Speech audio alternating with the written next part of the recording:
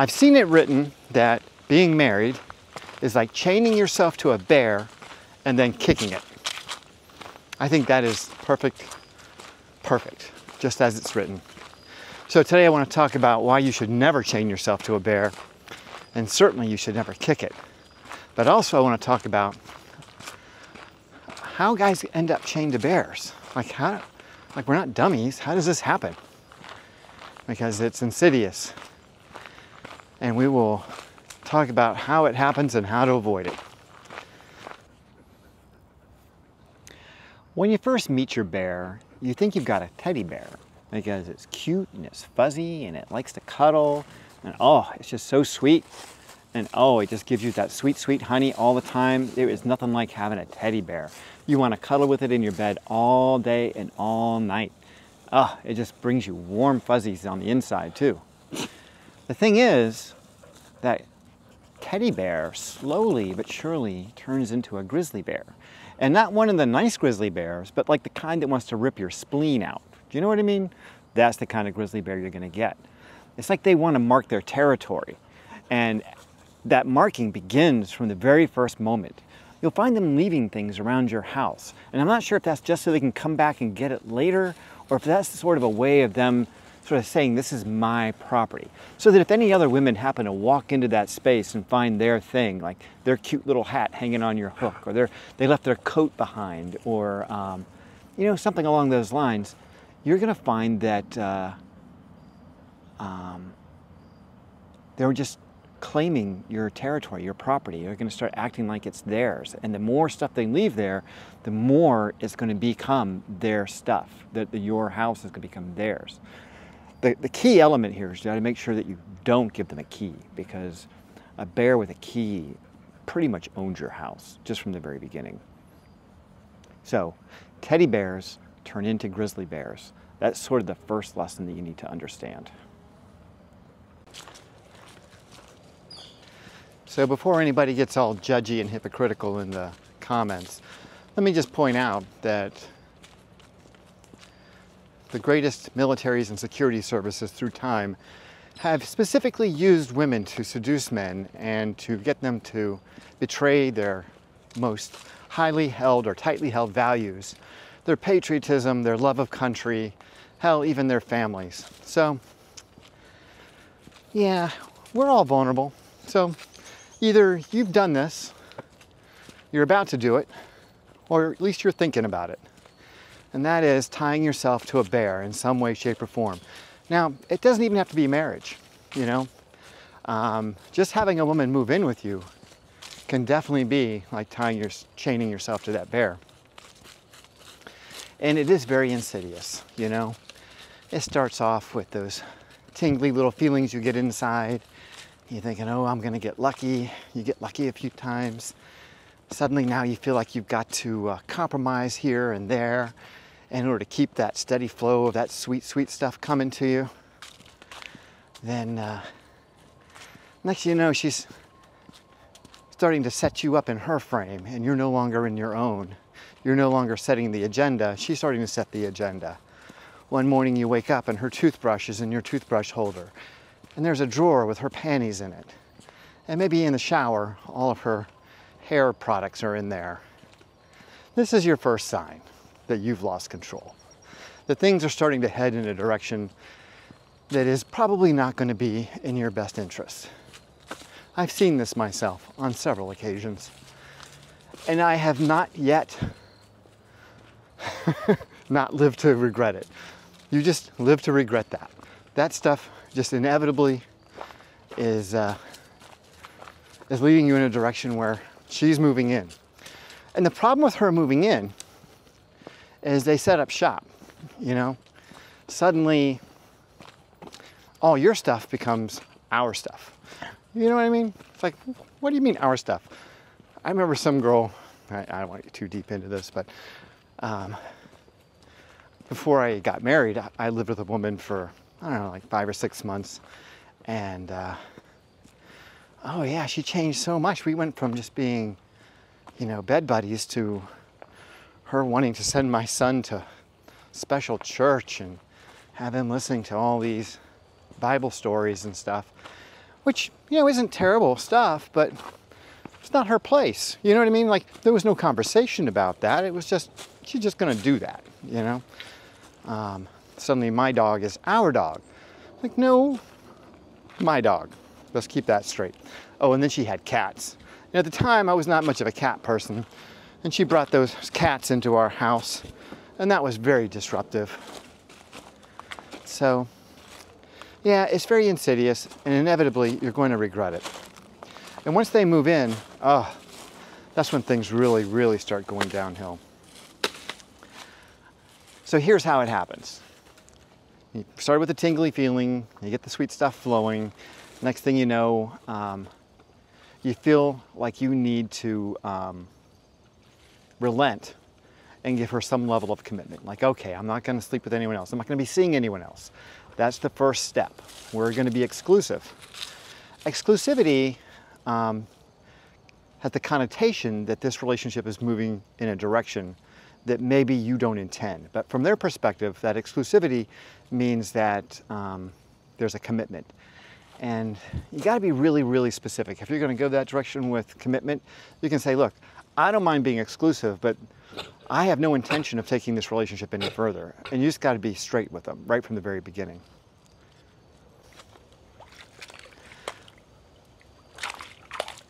And just for you guys who don't really know, here are some reasons why you don't want to chain yourself to a bear. Number one, you're going to get something called a honey-do list. Now, you don't need to be married to get a honey-do list. I think there's a lot of misconceptions about this list. We believe that it comes with matrimony. That's not necessarily the case you can get a honey-do list just by having a woman spend the night with you. And the longer she spends the night, then the more the likelihood of you getting this list is. This list is going to include things that you really have no intention of doing, or if you are going to do it, you're going to do it in your own time. Suddenly now it's going to be on a timeline, and you're going to be expected to accomplish these things in a, in a certain period of time. Um, you're also going to notice that you run out of toilet paper extremely fast. I, I don't know what they do with it. I mean, there's not that much more going on down there from what I can tell, but there's an awful lot of wiping that occurs. And it just keeps you, I mean, I remember getting those giant ones from Costco, those giant packages of toilet paper from Costco. It's got like 500 rolls in it. It fills up the entire back of the car. You can't buy anything else. That's all that fits. You've got to make a whole nother trip to come back and get anything else. Yeah, and that'll be gone in two weeks. And then you're starting over again. Um, the hair in the shower and in the sinks. They just shed like German Shepherds. I, I have no idea why that happens, but it definitely does. And you can't go anywhere or do anything without strands of hair all over your body. I happen to have had a lot of blondes in my life, and so my ex-wife was blonde, dyed blonde. But um, yeah, on my suits, I would always have these strands of blonde hair, like I was just rolling in the hay with her, and that that didn't happen. I don't know how the hair gets all over me, but it just did. It was like it was just attracted to me in some way, and I would just have these strands of blonde hair everywhere. Have, it's almost like having a cat. You just gotta be constantly rolling yourself to get it off.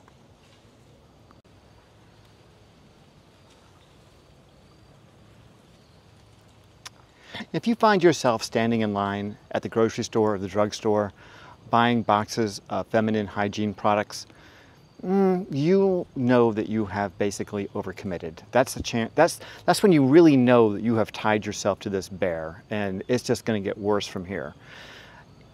If you're buying these hygiene products, there's a very good chance that your lady is going through her emotional ups and downs that that week, and it's a very high likelihood that you're going to experience that emotional swing and you might be a victim of it. So just be aware that this emotional up and down associated with that time of the month can be pretty extraordinary. Um, I would make myself scarce as much as possible. In fact, the critical thing is don't give her a key to the house. Do, whatever you do, just do not give her a key to the house. Do not grant her easy come, easy go access. Um, the physical pains associated with that time of the month, or really just any time of the month for that matter, I hear about them all the time, whether it's um, headaches, tummy aches, cramps, you know, uh, my feet hurt. There's just always something that now you are going to be exposed to and you have to be concerned about.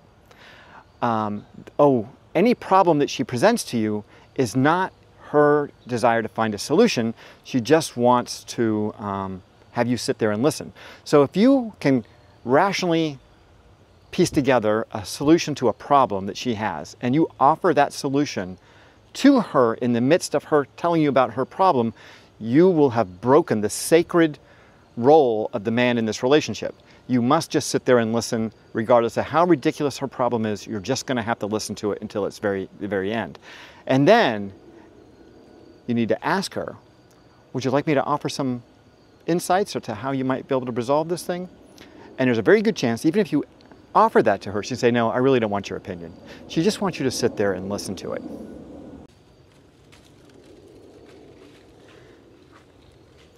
One of the most ironic things about having a bear in your house is they're going to want to change you from the way that they found you. So they found you attractive because you had a life of your own and you were experiencing life on your terms and you were, you know, kind of plowing your own path to a certain degree. But now that they've moved in, a lot of those things that they found attractive about you, they're going to want to change. So if you have any kind of risky habits that you have in your life, or risky um, activities that you do for fun, for example, uh, you maybe ride motorcycles, or you jump out of airplanes, or you like to do downhill skiing, or you ride a skateboard.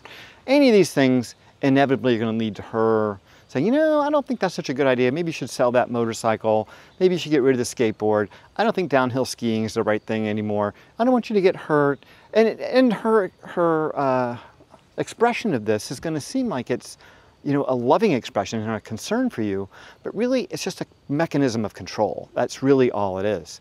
And the irony here is um, over time, she's going to have uh, changed you so much that she will no longer find you attractive. You will no longer be the person that she wants to be with.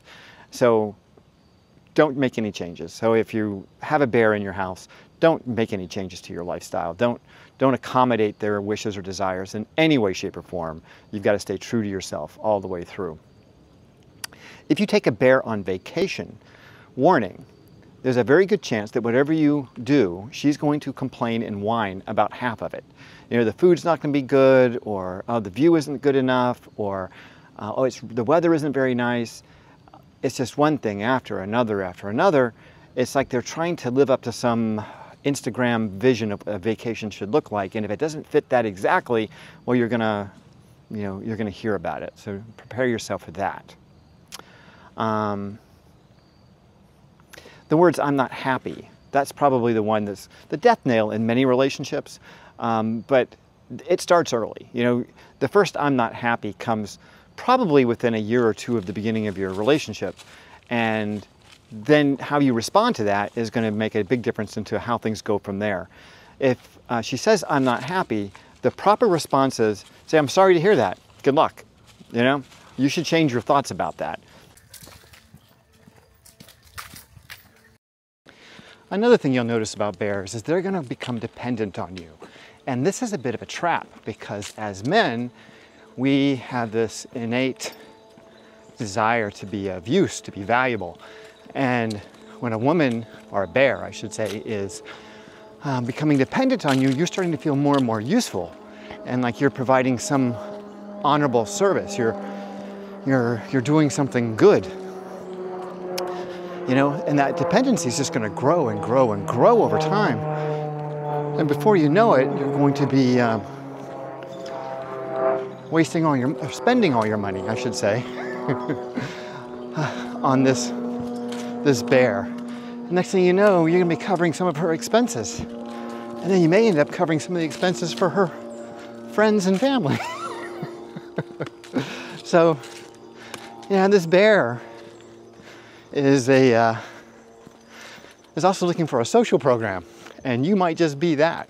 So, you got to keep your antenna up, keep an eye out. You do not want to become the social benefactor for a cub of bears or a, a, a, uh, a group of bears or any bear for that matter. You do not want to become the social benefactor for a bear.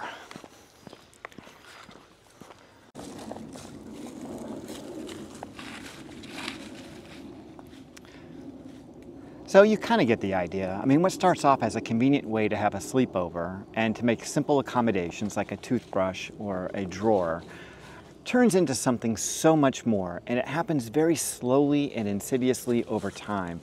And before you know it, everything that's yours is ours.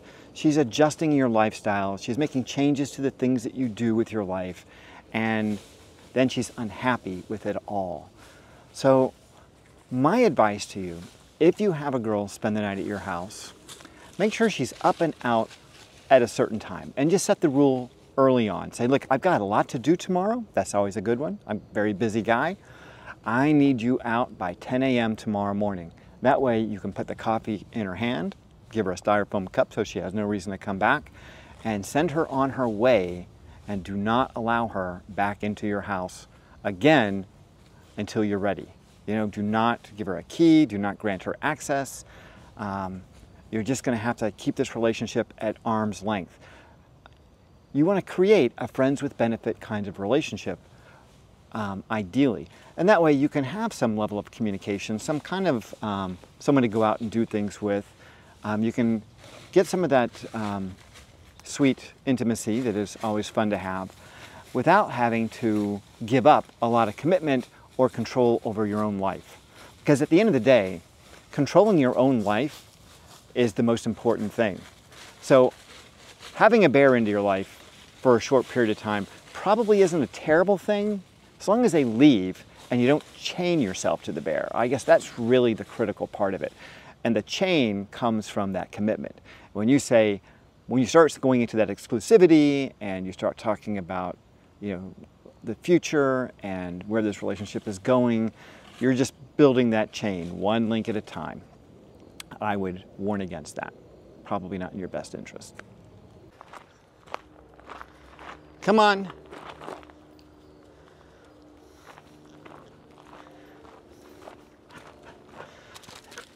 If you find yourself living with a bear, I would suggest that you um, break it off as quickly as possible. You've got to undo the damage that you've done. You've got to get them out of the house, even if it means ending the relationship with the bear at all costs. Because that bear will take over and your life will not be good as a result. You're going to be very, very sad in the long run. Um, ending all communication might be the only way forward. I know it seems like a dickish thing to do, and it is, but it becomes down to self-preservation at the end of the day. Yeah, you've got to you got to own yourself. You've got to own your own life. And if you allow them in, they're going to own it. If you've enjoyed the video, please like and subscribe. And um, remember, stay healthy. And if you can, stay single.